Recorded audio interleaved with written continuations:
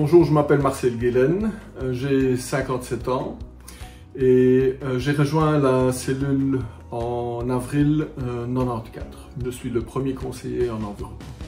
Après le premier rodage de la cellule, André Van Durm a attribué une zone géographique à chaque conseiller et j'ai été relocalisé à Baptiste et euh, là, j'ai traduit le questionnaire d'évaluation en allemand, ce qui a grandement facilité le contact avec les entreprises germanophones. Le questionnaire d'évaluation, il était à ce moment-là euh, révolutionnaire.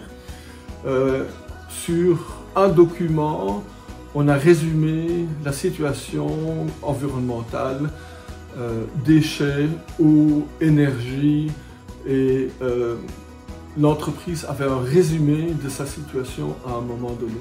Moi, je suis particulièrement fier euh, de mon passage à l'Union Wallonne des entreprises. J'ai visité plus de 500 entreprises et réalisé près de 70, euh, je crois que c'est 66 évaluations environnementales et de la moitié des entreprises germanophones. Ce qui était nouveau à ce moment-là, euh, c'était des personnes qui pouvaient conseiller euh, d'une façon neutre les entreprises germanophones. Il n'y avait pas encore partout dans l'administration des personnes qui pouvaient répondre en allemand euh, aux entreprises germanophones. Je peux expliquer mon passage à, la cellule euh, par un mot, c'est réseautage.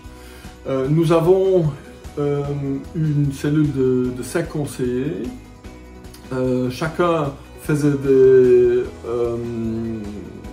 évaluations environnementales d'entreprise et après on partageait le savoir. Donc, moi je suis persuadé qu'un groupe atteint plus vite un objectif que la somme des individus.